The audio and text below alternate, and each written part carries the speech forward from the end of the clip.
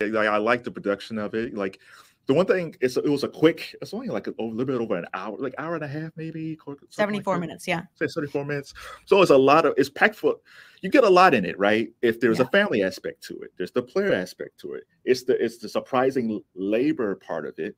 Mm-hmm. And I would say that, so if, like some guys are like, oh, I don't want to watch this WNBA. Okay, fine. If you don't like women's sports, okay, but watch it from the union part of it, because we're totally. all the union part of it, the collective bargaining part of it I think that the one thing great, the there's a lot of great things about the doc, but the great, the, the greatest thing is we get inside the meetings.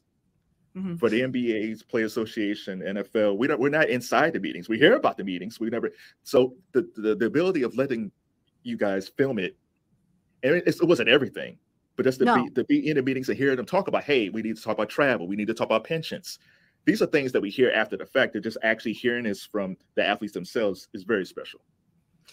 I totally agree with you. And I think, again, that was the part of telling the story from the Players Association perspective that made me know that this was going to work. And the intention behind this movie, and I've said this from the very, very beginning, is this movie needs to be seen. I don't want this to go on some platform where it's going to be below the fold. You have to scroll three times to get to it, and it's just going to be buried and nobody's going to watch it. I wanted to sing this messaging from the rooftops because I knew if it was something that made me question and made me think, it would make others do that too.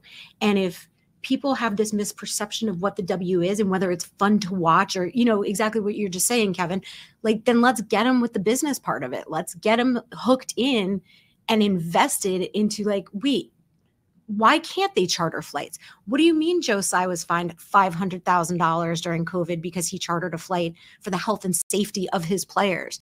Like, none of that made sense to me at all. And if I'm that interested, I can get other people interested. And she was the right one to tell that story. I always say, Kevin, it's it's for people with a high sports IQ. Yeah. Um, because we've all, if we follow sports, we've heard CBA.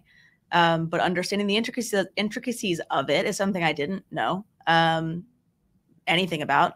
And I think that the WNBA as a product is for people with high sports IQ. Yeah. Uh, speaking about platforms, let's get a shout out to Tubi.